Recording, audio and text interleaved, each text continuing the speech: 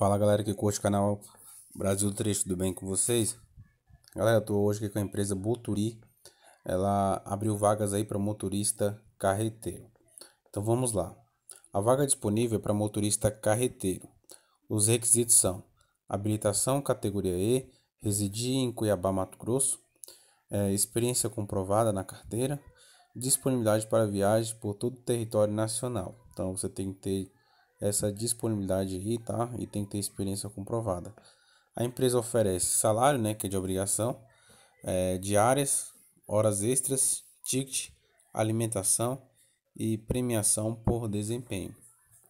Os interessados em fazer parte do processo seletivo devem mandar o currículo para contrata@buturi.com.br.